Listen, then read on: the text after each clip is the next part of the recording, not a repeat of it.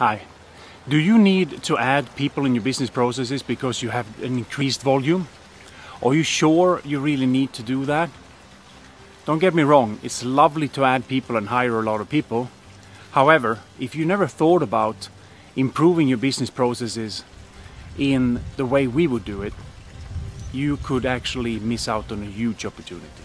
Stay tuned for more. Hi, my name is Johan Mylov. I'm the founder and CEO of Lean Dimensions International. I was contacted by management team. Uh, this wasn't too long ago, but I, I was uh, talking to them, and they had a need of hiring more engineers. It's a wonderful feeling, right? Because you develop your business, you need more people and such. I, I love that myself. Here's the thing, though. They weren't really thinking uh, about the possibilities of improving that specific area first. And the problem that many companies face, I think, is that when it comes to business processes, they have never really mapped out the process to fully understand the losses they have.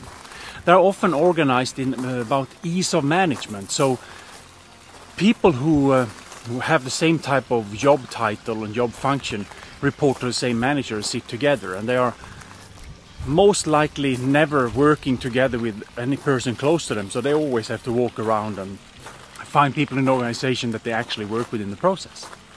But this company specifically, they had eight engineers.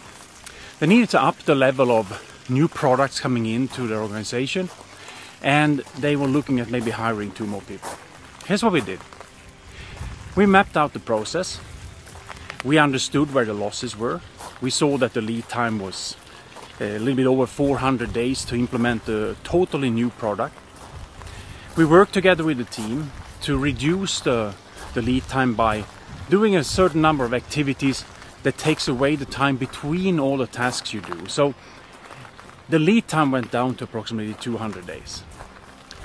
What if this is a situation that you could have as well?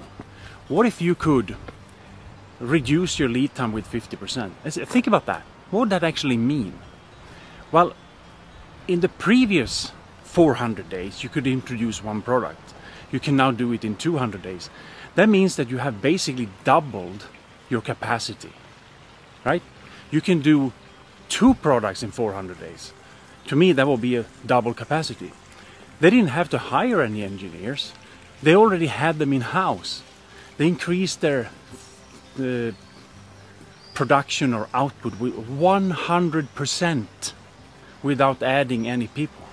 Imagine, I'm just saying, imagine if that is true. What would that mean for your organization?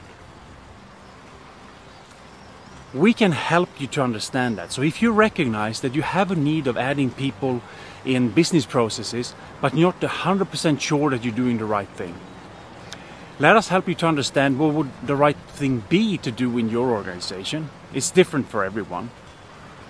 And uh, if you like and share this video as well, it really helps us to spread the word. So we appreciate that a lot. Thank you for listening.